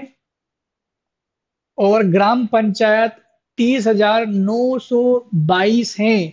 ग्राम पंचायत का डेटा भी आपको किताबों में अलग मिलेगा और आप में से अगर कोई लोग, व्यक्ति जानना चाहता है कि कौन सी किताब से पढ़े तो मध्य प्रदेश से संबंधित कई सारी राइटर कई सारी पब्लिकेशन अच्छी सी किताब निकालते हैं। लेकिन अगर आपको सही डेटा पढ़ना है तो मध्य मध्य प्रदेश हिंदी ग्रंथ अकादमी की पुस्तक आती है, जो खुद मध्य प्रदेश गवर्नमेंट लॉन्च करती है। तो ये बात तो माननी पड़ेगी कि उसका डेटा सही होना चाहिए। भले उसमें डेटा कुछ भी दिया हो, लेकिन मध्य प्रदेश अकादमी की हिंदी ग्रंथ अकादमी की गवर्नमेंट बुक है तो गवर्नमेंट बुक के डेटा मान्य रहते हैं। फॉर एग्ज़ाम्पल अगर मान लो कोई एग्ज़ाम में आपको एक क्वेश्चन आपने सही किया और उस आयोग ने गलत कर दिया क्योंकि आपने वो क्वेश्चन एनसीआर एनसीआरटी में तो मध्य प्रदेश की नहीं होती, हिंदी ग्रंथ अकादमी की पुस्तक से एक ऑथेंटिक पुस्तक से पढ़ के आपने किया था उस पुस्तक में वही सही है जो आपने लगाया है, लेकिन आयोग ने उसको गलत करार दे दिया। तो इस बेस पर आप हाईकोर्ट में अपील कर सकते हैं, क्योंकि आपका अधिकार है। लेकिन हाईकोर्ट तभी आपकी बात को संज्ञान में लेगा जब आपके पास ऑथेंटिक बुक होगी, क्योंकि ये जो राइटर चल रहे आजकल मार्केट में, बहुत सारी किताबें हैं। ये कोई ऑथेंटिक राइटर नहीं है, इनकी बातें मान्य नहीं होती है। ठीक है, कहीं से डेटा उठाकर लेते हैं लेकिन सही डेटा मायने में जो डेटा होगा, वो गवर्नमेंट की ऑथराइज वेबसाइट पे डाला होगा या उसकी बुक से। तो ऐसी बुक से पढ़ो जो काफ़ी सही हो। और वैसे भी क्लास के साथ साथ नोट्स बनाते चलेंगे तो मे भी आपको काफ़ी ज़्यादा फ़ायदा हो सकता है। तो ग्राम पंचायत किताबों में तेईस हज़ार छह ग्राम पंचायत दी हुई है, लेकिन ग्राम पंचायतों की संख्या बढ़ चुकी है। तीस हज़ार नौ सौ बाईस ग्राम पंचायतें हैं। कुल संभाग, देखिए हम लोग जनरल परिचय पढ़ रहे हैं, ज़्यादा समस्या परेशान होने की ज़रूरत आपको नहीं है। सीधे सिंपल से जनरल हम लोग पढ़ रहे हैं। आपको इंटरेस्ट आना शुरू होगा तो भूगोल में आपको इंटरेस्ट शुरू होने का मध्य प्रदेश की राज व्यवस्था में आ सकता है, क्योंकि जहाँ पर थोड़ा सा कॉन्सेप्चुअल स्टोरी आपको सुनने को मिलेगी मे भी आपको अच्छा लगना शुरू हो जाएगा। ठीक है? ये आपके दस संभाग हैं। संभाग जो डिवीज़न ऑफिसर ऑफ़िस जो होता है, उसको हम लोग संभाग बोलते हैं। कई सारे राज्य उसमें होते हैं। एमपी हिंदी ग्रंथ अकादमी की बुक बुक कहाँ मिलेगी? ये अगर आप, कपिल जी, अगर आप मध्य प्रदेश से बिलोंग करते हैं तो आपको मध्य प्रदेश की किसी भी बुक स्टॉल पे मिल जाएँगी। इंदौर में एक सबसे फ़ेमस बुक स्टॉल है, जैन बुक स्टॉल जो है, वहाँ पर आपको मिल सकती हैं ये। जैन बुक स्टॉल है, उसके अलावा बहुत सारी बुक्स मिल जाती है। भंवर कुआँ या वहाँ पर सर्च करना मिल जाएगी। जहाँ पर बहुत ज़्यादा हब बना हुआ है एमपी पीएससी का वहाँ। अगर आप भोपाल में हैं तो एमपी नगर वहाँ का हब है, जहाँ मिल जाएगी आपको बुक्स काफ़ी सारी दुकानें भोपाल में भी हैं। संभाग की बात करें तो ये आपके पास सामने दस संभाग अलग अलग कलर्ड में दिए गए हैं। अगर जनसंख्या की दृष्टि से बात की जाए तो इंदौर संभाग सबसे बड़ा है और अगर एरिया की बात की जाए तो एरिया आपको दिख ही रहा है। That is the largest division of Madhya Pradesh. दस डिवीज़न है जिसमें से आपका संभाग है। भोपाल, चंबल, ग्वालियर, इंदौर, जबलपुर, नर्मदापुरम। देखिए, जो होशंगाबाद संभाग है जिसमें तीन ज़िले हैं, हरदा, बैतुल, होशंगाबाद। एक तो सबसे नया संभाग है। दूसरी बात कि होशंगाबाद संभाग का नाम होशंगाबाद संभाग से बदल दिया गया और बदल के रख दिया गया नर्मदापुरम संभाग। नर्मदा पूरी यहीं से होकर गुजरती है तो इस वजह से हो सकता है वहाँ के लोगों ने इसको, नर्मदा के किनारे बसा हुआ है पूरा। और वैसे भी होशंगाबाद काफ़ी अच्छा जिला है, एक बहुत बढ़िया पर्यटन स्थल वहाँ पर है। ऑनलाइन कहाँ से मिलेगी? बता दूँगा बेटा मैं सब कुछ बताऊँगा कहाँ से क्या मिलने वाला है। कोशिश करूँगा कि आपको सारे प्रश्नों के उत्तर मिल जाए। लेकिन आखिरी के पंद्रह मिनट में मैं आपसे बात करूँगा, अच्छे से बात करूँगा, जो भी आपकी समस्या आप लिख करके भेज सकते हैं। अभी आप इतमान से देखिए क्या आपको मिल रहा है। देखिए, आपका जो संभाग, अगर आप जिला वाइज पूछेगा, सबसे छोटा संभाग कौन सा है? तो नर्मदापुरम पुरम जो है सबसे छोटा संभाग है जिला वाइज। जो आपको दिख रहा है इसमें तीन ज़िले हैं होशंगाबाद बैतुल, हरदा बाकी जितने भी संभाग है, वो बड़े बड़े सबसे बड़ा संभाग आपको इंदौर मिल जाएगा, जिसमें लगभग नौ ज़िले होंगे। एक, दो, तीन, चार, पाँच छः सात, आठ आठ ज़िले इसमें है और आठ ही ज़िले इसमें भी मिलेंगे आपको। बड़े बड़े संभाग है दो। बाकी संभाग के बारे में क्वेश्चन नहीं आते हैं, ठीक है? और ये, मान लो कई बार जिला पूछा गया ना कि सबसे उत्तर का जिला कौन सा है, सबसे दक्षिण का जिला कौन सा है, सबसे पश्चिम और पूरब का जिला कौन सा है, ये क्वेश्चन पूछा जाता है। लेकिन मान लो अगर क्वेश्चन पूछ लिया गया कि सबसे उत्तर का संभाग कौन सा है, सबसे दक्षिण का संभाग कौन सा है, सबसे पश्चिम का संभाग कौन सा है, पूर्व का संभाग कौन सा है तो अगर इस तरह का भी क्वेश्चन पूछा तो आपके सामने आंसर है। अगर आपसे पूछा गया ये वाला संभाग कौन सा है, सबसे पश्चिम सबसे पूर्व का संभाग कौन सा है तो आपका आंसर होगा सागर संभाग सबसे सागर नहीं, रीवा सॉरी रीवा जो संभाग है, सबसे पूर्व मिलेगा आपका। अगर इधर की बात करें तो इंदौर संभाग सबसे पश्चिम में आता आपका। दक्षिण की बात करें तो इंदौर संभाग ही दक्षिण का भी सबसे दक्षिणतम संभाग मिलेगा। और सबसे उत्तर का संभाग जो आपका है, वो ये आपका मुरैन चंबल संभाग जो मुरैना, भिंड और श्योपुर से मिलकर बना है। तीन राज्य जिलों से मिलकर बना है। तीन ज़िले यहाँ पर भी, तीन ज़िले यहाँ पर भी। दोनों छोटे छोटे संभाग है ये, जिलों के अकॉर्डिंग और मध्य प्रदेश की डेटा बुक में लिखा हुआ है कि मध्य प्रदेश का सबसे छोटा राज्य जो है वो हरदा, जिला जो है वो हरदा है। लेकिन चूँकि निवाड़ी बन चुका है तो निवाड़ी जनसंख्या में भी और क्षेत्रफल में भी दोनों में सबसे छोटा राज्य है तो आपको अब अलग अलग राज्य याद करने की ज़रूरत नहीं है। जिला याद करने की ज़रूरत नहीं एक ही जिला है, निवाड़ी, जो क्षेत्रफल की दृष्टि से और जनसंख्या की दृष्टि से सबसे छोटा है। कुल बावन ज़िले हैं। जिलों के नहीं पूछते कि कौन सा जिला कहाँ है। देखिए, ज़िले याद तो रखने होते हैं, लेकिन कब? जब यहाँ से कोई नेशनल हाईवे गुजर रहा होता है। क्वेश्चन कई बार पूछे गए हैं। मेरा बस एनालिसिस प्रीवियस ईयर के क्वेश्चन से ही है। प्रीवियस ईयर के क्वेश्चन में ये पूछा गया है कि मान लो एन एच सेवन जो गुजर रहा है, हालाँकि आजकल वो एन एच फोर्टी फोर हो चुका है। एन एच अगर गुजर रहा है तो कौन कौन से ज़िले से गुजर रहा है? एन एच थ्री गुजर रहा है तो कौन कौन से ज़िले से गुजर रहा है? चार ऑप्शन देंगे, उसमें से एक ऑप्शन नहीं होगा। थोड़ा सा डीप में पढ़ने की ज़रूरत है, जो कि हम लोग परिवहन में इसको पढ़ेंगे। तो वहाँ इसकी ज़रूरत पड़ सकती है अदरवाइज़ ज़रूरत नहीं पड़ेगी। ज़रूरत एक जगह और पड़ती है कि मध्य प्रदेश कई सारे राज्यों से गिरा हुआ है। टोटल पाँच राज्य हमारे आसपास हैं। पाँच राज्य हमारे आसपास है, जिसके हम लोग बात कर लेते हैं।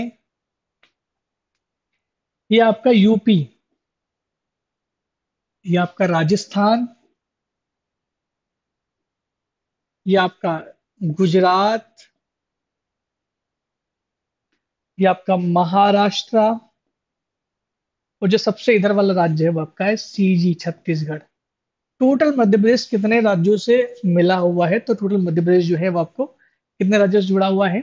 वो जुड़ा हुआ है आपके पाँच राज्यों से जुड़ा हुआ है। छत्तीसगढ़, मध्य प्रदेश, गुजरात, राजस्थान और यूपी सबसे लंबी सीमा साझा करता है मध्य मध्य प्रदेश यूपी के साथ।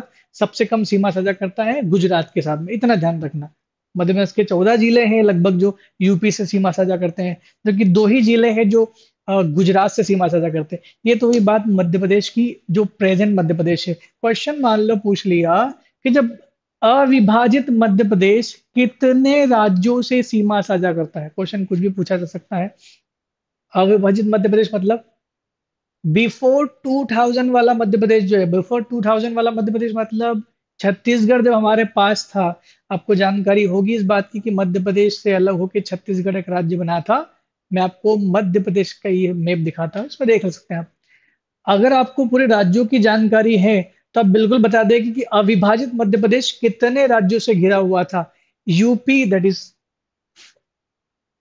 एक सिंगल राज्य है यूपी राजस्थान सेकंड गुजरात मध्य, महाराष्ट्र, छत्तीसगढ़ तो ऑलरेडी मध्य प्रदेश में था ही। उसके अलावा ये जुड़ा हुआ था आपका उड़ीसा, बिहार,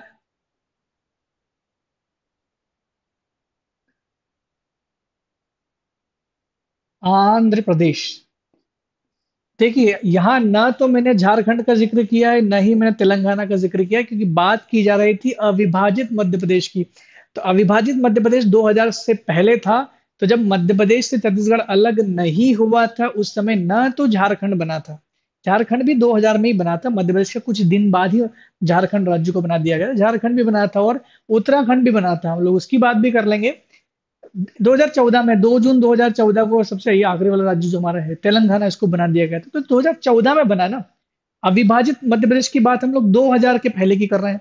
तो उसमें ना तो तेलंगाना का ज़िक्र कर सकते हैं ना झारखंड का, तब बिहार था।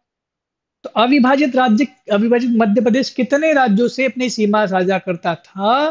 तो answer is UP, Rajasthan, Gujarat, Madhya Pradesh, Andhra Pradesh, Orissa और बिहार। इन सभी राज्यों से मध्य प्रदेश अपनी सीमा साझा करता था।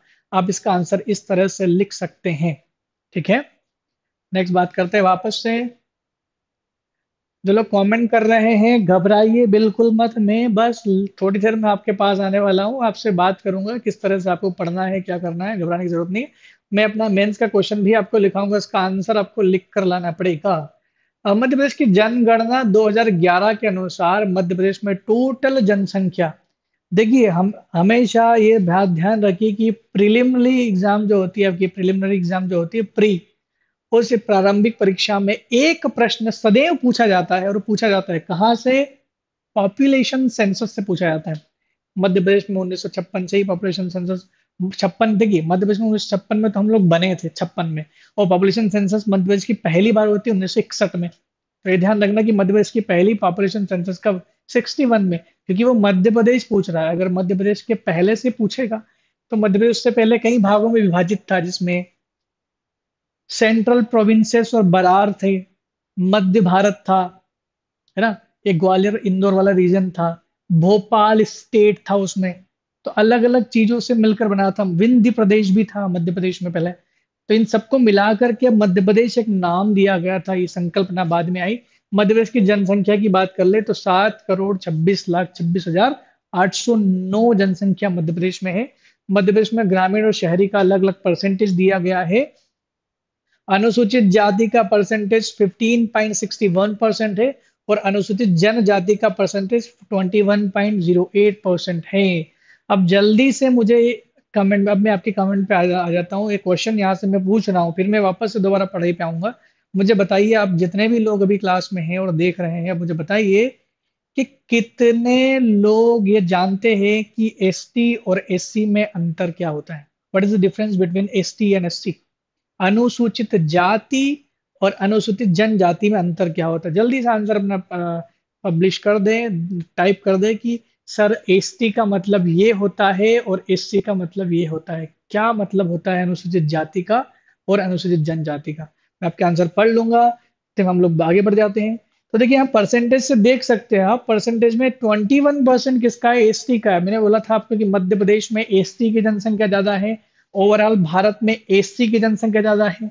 एससी की जनसंख्या सबसे ज़्यादा अगर किसी राज्य में है तो वो है उत्तर प्रदेश। उत्तर प्रदेश एससी की सबसे ज़्यादा जनसंख्या अनुसूचित जाति वाला राज्य है, जबकि मध्य प्रदेश अनुसूचित जनजाति वाला राज्य है। और हाल ही में भी मध्य प्रदेश सरकार का अपने निर्णय तो सुना होगा। मैं एक बार फिर से निर्णय क्लियर कर देता हूँ आपको। निर्णय बोला है, मध्य प्रदेश ने ओबीसी के आरक्षण, जो लोग ओबीसी से हैं, उनको खुश होने की ज़रूरत है, उन्होंने कर दिया है 27 परसेंट मंडल कमीशन ने पहले डिसाइड किया था 1992 में जब पहली बार इंदिरा सहानी का केस आया था, सुप्रीम कोर्ट ने भी बोल दिया था, लीगल करार दे दिया गया था कि एजुकेशनली और सोशल बैकवर्ड क्लासेस को आप दे सकते हैं। 27 परसेंट रिजर्वेशन प्रोवाइड किया गया था by the contemporary government PV Narasimha Rao सरकार ने। 27 परसेंट तब से चल रहा है, लेकिन देश के लिए 27 परसेंट फिक्स था, राज्यों को अपने हिसाब से फिक्स करने का राइट दिया गया था। राज्य 27 परसेंट तक कर सकते हैं, लेकिन परसेंटेज के हिसाब से पॉपुलेशन के परसेंटेज के हिसाब से, मध्य प्रदेश में तो ओबीसी की पॉपुलेशन बहुत ज़्यादा है। फिर भी 14 परसेंट था पहले और लगातार मुद्दे आ रहे थे, सुप्रीम कोर्ट में याचिका दायर की जा रही थी तो उन्होंने, हाई कोर्ट में याचिका दायर की जा रही थी तो उसके आधार पर निर्णय जो लगातार अटका हुआ, सब लोग जानते इससे इससे एग्ज़ाम आपकी पोस्टपोन हो रही थी बार बार तो ये 27 परसेंट फिक्स कर दिया गया है अब मध्य प्रदेश की सभी परीक्षाओं में। हालाँकि जो परीक्षा हो चुकी है, उसमें एप्लीकेबल नहीं है। ये ध्यान रखना। 27 परसेंट ठीक है, उसके बाद आपका एससी का रिजर्वेशन भी क्लियर उस दिन आया था कि ये 15 परसेंट मिलेगा और एसटी का रिजर्वेशन जो है वो 20 परसेंट मिलेगा। एसटी का रिजर्वेशन कितना मिलेगा? 20 परसेंट पंद्रह परसेंट ये। परसेंटेज के हिसाब से वैसे भी भारत में ऐसा कोई फिक्स नहीं है। सब राज्यों में अलग अलग परसेंटेज है। अगर आपसे पूछेगा कि ओबीसी का कितना दिया गया है रिजर्वेशन तो ओबीसी का reservation twenty seven percent limit है फिक्स है। लेकिन अगर पूछा कि एसटी का रिजर्वेशन एस का रिजर्वेशन कितना दिया गया है तो एसटी और एससी का रिजर्वेशन जो है, ये डिपेंड करता है पॉपुलेशन रेशियो पर। कितना पॉपुलेशन उस राज्य में है, जितना पॉपुलेशन उस राज्य में होती है, उतना दे देते मध्य प्रदेश में लगभग इक्कीस परसेंट एस है। ये तो अभी है ना। रिजर्वेशन पहले का दिया हुआ है। 15 परसेंट रिजर्वेशन दिया हुआ है बिकॉज़ अब यहाँ पर। 15.61 है। इटी 21.08 है तो फिर भी 20 परसेंट रिजर्वेशन दिया जाता है। तो जित, अगर मान लो 100 सीट है तो 20 उनको चली जाएगी 15 उनको चली जाएगी 27 उनको चली जाएगी, बची हुई सीटें जनरल कैटेगरी यानी यूआर में बढ़ जाती है। मैं आपको बता दूँ कि इंदिरा सहानी केस 1992 जब आया था तो सुप्रीम कोर्ट ने क्लियरिफाई किया था कि आरक्षण गलत नहीं है, लेकिन आरक्षण सीमाओं में बंधा रहे तो ज़्यादा अच्छा रहेगा। उन्होंने क्लियर किया था कि आरक्षण की जो सीमा है, ये 50 परसेंट से एग्जिट एक्सीड नहीं कर सकती, उससे आगे नहीं जा सकती, उसको उससे ज़्यादा बढ़ाया नहीं जा सकता।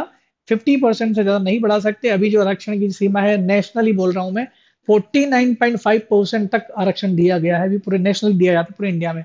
अब नए नए ग्रुप उभर कर आते हैं। अगर वो दबाव बनाते हैं तो उनको आरक्षण बिल्कुल दिया जाता है। ये बात कर लेते हैं इनकी। पुरुषों और स्त्री की संख्या में डिफरेंस ज़्यादा तो नहीं है, लेकिन फिर भी डिफरेंस मायने रखता है। यहाँ पर एक करोड़ चार लाख बासठ हज़ार नौ सौ अट्ठारह पुरुष हैं, शहरों की बात कर रहा हूँ मैं, और छियानवे लाख छह हज़ार चार सौ सत्यासी जो है वो महिलाएँ हैं महिलाओं की संख्या काफ़ी कम है। यहाँ देखें तो ग्रामीण क्षेत्रों में पुरुषों की संख्या दो करोड़ इकहत्तर लाख छियालीस उनचास हज़ार तीन सौ अट्ठासी है। आप लोग पढ़ पा रहे होंगे, और स्त्रियों की संख्या दो करोड़ चौवन लाख आठ हज़ार सोलह है। डिफरेंस देखिए, वैसे भी ये डेटा अगर आप देखोगे ना एस टी एस सी का डेटा देखना आप जनसंख्या पॉपुलेशन में सेंसस देखोगे तो आपको दिखेगा सेक्स रेशियो यानी लिंगानुपात, स्त्री और महिला पुरुषों की संख्या में अंतर। सबसे कम अंतर आपको मिलेगा अलीराजपुर, झाबुआ बालाघाट, जिन रीजन में अनुसूचित जनजाति और अनुसूचित जातियों की संख्या ज़्यादा है। इसका मतलब पढ़े लिखे होने से शायद ज़्यादा डिफरेंस आ गया है। जो लोग कम पढ़े लिखे होते हैं, वहाँ पर ज़्यादा सेक्स रेशो को मिलने के चांसेस है। भारत के मध्य प्रदेश के वह सारे ज़िले जहाँ पर लिटरेसी रेट बहुत लो है, वहाँ पर लिंगानुपात काफ़ी ठीक है ठीक ठाक है। लेकिन बाकी जो लिटरल राज्य है, जो काफ़ी पढ़े लिखे हैं, वहाँ पर लिंगानुपात काफ़ी नीचे चला गया है। तो इसमें ये तो बोल सकते हैं कि एजुकेशन एक बड़ा फैक्ट है इसमें, क्योंकि हम जान, जानते हैं ना कि हम लोग सोनोग्राफी करा करके लिंग परीक्षण करवा सकते हैं। तो वैसे भी चाइना भी यही करता है, हम क्या आसपास के सभी देशों में यही होता है। पूरे एशिया में महिलाओं की संख्या कम है। बाकी यूरोप में देखोगे तो महिलाओं की संख्या पुरुषों से काफ़ी ज़्यादा है। यहाँ पर दोबारा आ जाते हैं हम लोग। मध्य प्रदेश की सीटों की बात करें तो मध्य प्रदेश में राज्यसभा की टोटल 11 सीट से राज्यसभा के चुनाव हर दो साल में होते हैं, ध्यान रखना। राज्यसभा के चुनाव हर दो साल में होते हैं, लेकिन राज्यसभा का जो भी मेंबर राज्यसभा का मेंबर बनता है, उसको कार्यकाल छह साल का दिया जाता है। ये पॉलिटी में जब भी आप पढ़ोगे तो आपको क्लियर हो जाएगा कि ऐसा क्यों होता है राज्यसभा। में थोड़ा सा क्लियर कर देता हूँ आपको। पूरे भारत की बता देता हूँ आपको। राज्यसभा की सीटें ग्यारह है और इलेक्शन होते हैं in every two year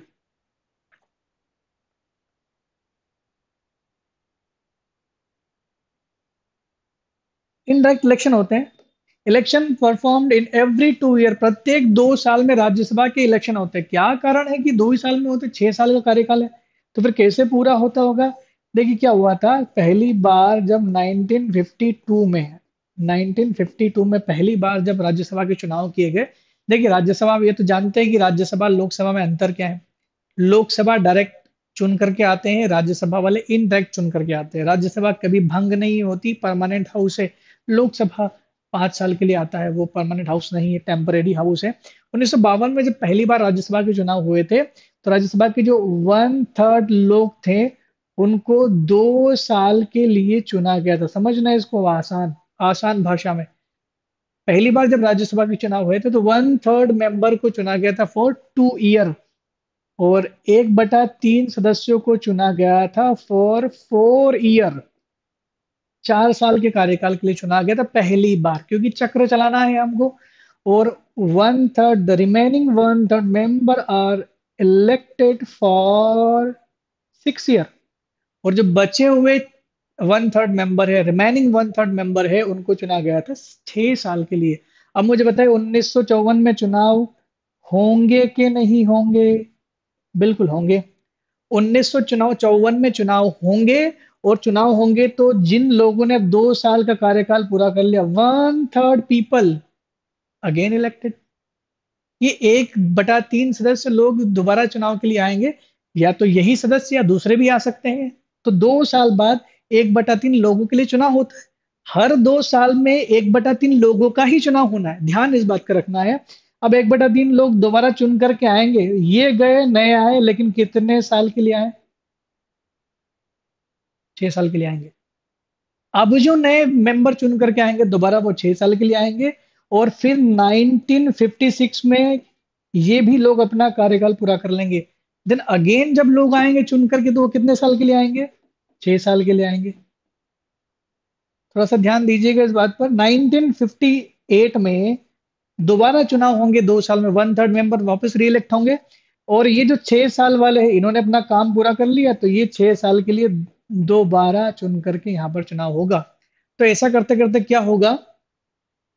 कि छह छह साल कार्यकाल तो मिल जाएगा, लेकिन जब 1960 का चुनाव आएगा नेक्स्ट ईयर में तो ये छह साल वाले ऑलरेडी अपना कार्यकाल पूरा कर चुके यानी हर दो साल में वन थर्ड मेंबर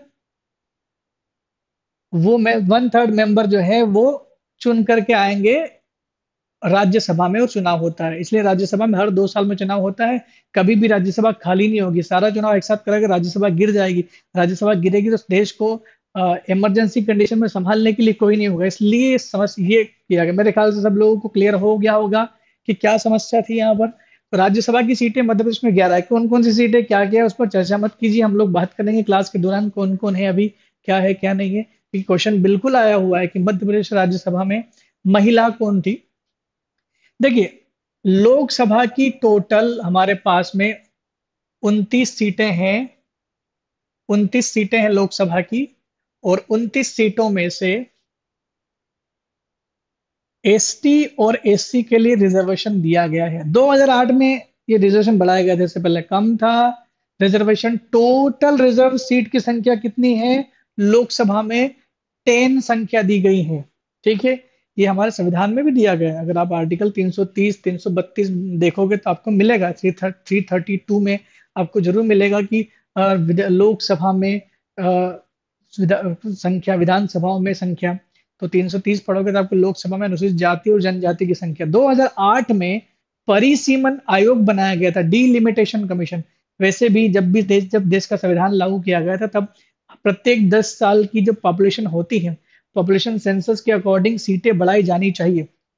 सीटें नहीं बढ़ाई गई, चल रही है पुरानी। अभी अगर मैं आपसे पूछूँ कि आज भी मध्य भारत में जो लोकसभा की सीटों की संख्या है, वो कौन सी जनसंख्या के आधार पर है?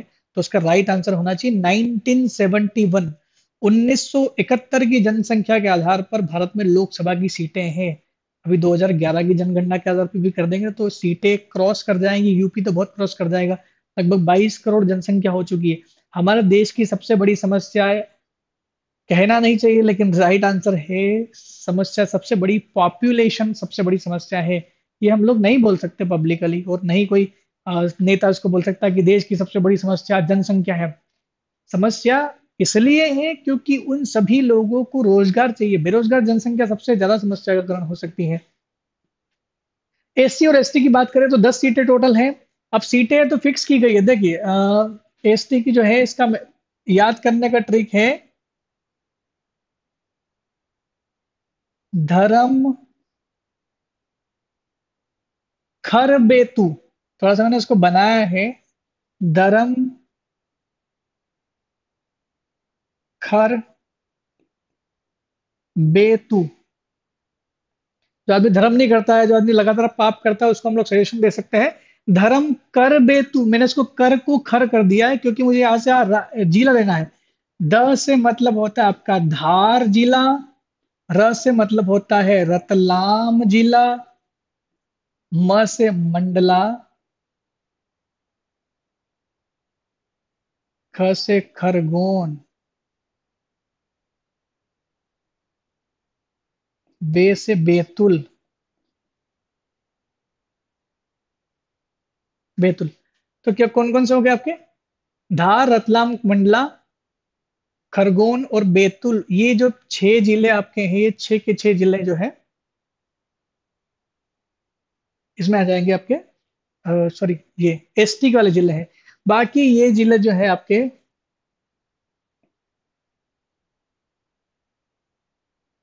चार ज़िले जो एससी के मिलते हैं, आपके मिलते हैं इसमें भिंड।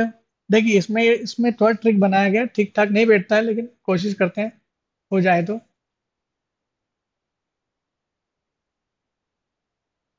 उज्जैन में देवता की भीड़ टिकट नहीं। समझेगा इसको? उज्जैन में देवता की भीड़, टिकट नहीं। इसमें एक राजेश, एक जिला छूट गया है। शहडोल भी है। ट्रिक में नहीं बैठता था फिक्स फिक्स। उज्जैन में देवता की भीड़, टिकट नहीं। उज्जैन मतलब तो उज्जैन होता ही है। उज्जैन जिला जो एससी वाला है, देवता मतलब देवास कर सकते हैं इसको। भीड़ से आपका भिंड हो गया और टिकट से टीकमगढ़ हो गया। ये बस एक मैं थोड़ा सा ट्रिक बताना चाह रहा था कि इस तरह की ट्रिकें आप इस्तेमाल कर सकते हैं। तो मध्य प्रदेश में एससी की सीटें कौन कौन सी? उज्जैन, देवास, भिंड और टिकमगढ़। ये यहाँ पर, अब ये रिज़र्व का मतलब क्या हो? रिजर्वेशन का मतलब ये हो गया कि जब भी चुनाव होंगे लोकसभा के, तब तब चुनावों में हमेशा पार्टिसिपेट कौन करेंगे? एसटी के लोग यहाँ से पार्टिसिपेट करेंगे एसटी के लोग यहाँ से पार्टिसिपेट करेंगे तो ये फिक्स है। खरगोन, बैतूल, रतलाम, मंडला, धार, शहडोल, यहाँ से फिक्स है कि एसटी की ही सीट आनी जनरल और ओबीसी की नहीं आएगी। एसटी की भी नहीं आएगी एससी की यहाँ से आएगी, ये फिक्स हो गया है। विधानसभा में इतनी सीटें हैं। फिक्स कर दिया गया आर्टिकल 332 देखोगे आर्टिकल 332 में लिखा है कि विधानसभा में सीटें दी जाएगी, वो अलग अलग राज्यों में अलग अलग रहेगी। मध्य प्रदेश में एसटी की सीटें 47 है। और एससी की सीटें 35 मैंने बताया था कि एसटी की संख्या मध्य प्रदेश में ज़्यादा है। तो अब हम लोग आते हैं आपकी बातों पर जो हम लोग कर रहे हैं। कमेंट सेक्शन पे बात करते हैं। बाकी ये सिंबल विम्बल हम लोग नेक्स्ट क्लास में इसको देखेंगे। एक, जैसे मैं कमेंट पढ़ रहा हूँ, उससे पहले मैं आपको एक क्वेश्चन लिखा देता हूँ। आप क्वेश्चन ज़रूर ज़रूर लिख लें। जल्दी से क्वेश्चन नोट करिए, उसका आंसर मैं कल बताऊँगा, उसके आंसर कल हम लोग चर्चा करेंगे। और आप इस बात को मान लीजिए कि जो आंसर आप लिख रहे हो, लिखना सबको है, ठीक है? तो क्वेश्चन लिखा दूँ, जल्दी से मुझे आप कमेंट बॉक्स में ये दे दीजिए कि हाँ मैं क्वेश्चन बोल दूँ। जल्दी से। आप लोग लिखने को तैयार हैं एमपी पीएससी मेंस में आ सकता है क्वेश्चन से यस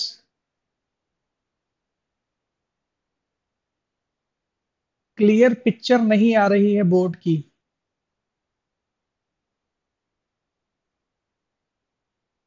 जी ओके ठीक है तो आप क्वेश्चन लिखिए मध्य प्रदेश से छत्तीसगढ़ के अलग होने के कारणों की चर्चा कीजिए। एक बार फिर से क्वेश्चन में बोल देता हूँ। मध्य प्रदेश से छत्तीसगढ़ के अलग होने के कारणों की चर्चा कीजिए। मध्य प्रदेश से छत्तीसगढ़ के अलग होने के कारणों की चर्चा कीजिए।